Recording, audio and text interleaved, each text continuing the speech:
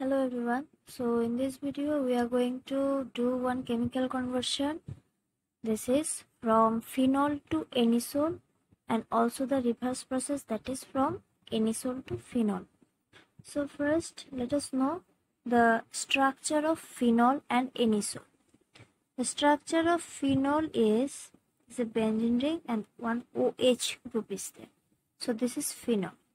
And anisole structure is this is the benzene ring and the group OCH3 is attached with the benzene ring.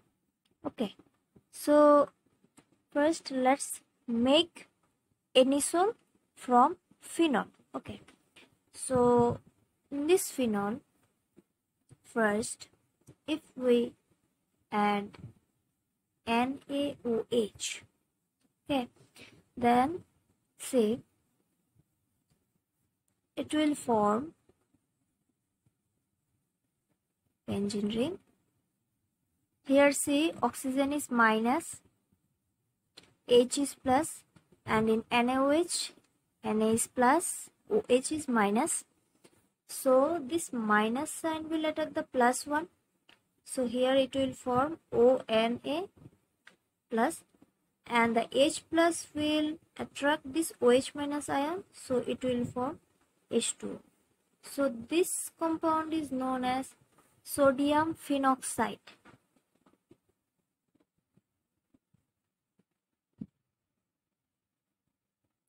Okay. Now in sodium phenoxide, if we add CH3Cl that is methyl chloride, then what will happen? It will form benzene ring and here it is OCH3 that is anisole because see here the CH3 is positive charge delta positive and here it is delta negative. And in the phenoxide also on oxygen atom it is delta negative and and on sodium it is delta plus. So the plus will attract the minus okay. So Na plus will attract the Cl minus so it will form NaCl and oxygen will attract the CH3 part so here it is OCH3 so in this way you can form anisole from phenol. Now let's see how to prepare phenol from anisole see in this anisole now if you add HI that is hydrogen iodide and apply heat. So what will happen? Say in HI it is delta plus and iodine is delta minus. Similarly in this OCH3 group on oxygen atom it is delta minus and CH3 group it has delta plus. So the minus will attract the plus one. So O will attract the H plus ion. So the compound OH group that is phenol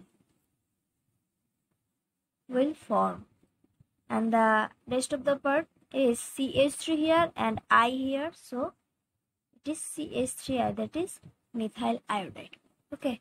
So in this way you can form from phenol to anisole and also from anisole to phenol